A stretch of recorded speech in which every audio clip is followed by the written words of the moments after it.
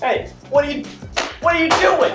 The SAT is coming up. It's on March 22nd. You better start studying. You don't have much time left. You should bring a number two pencil and a calculator. However, you should not bring any obnoxiously large words of wisdom. Remember to stay seated, stay quiet, and don't cheat. So don't forget to study.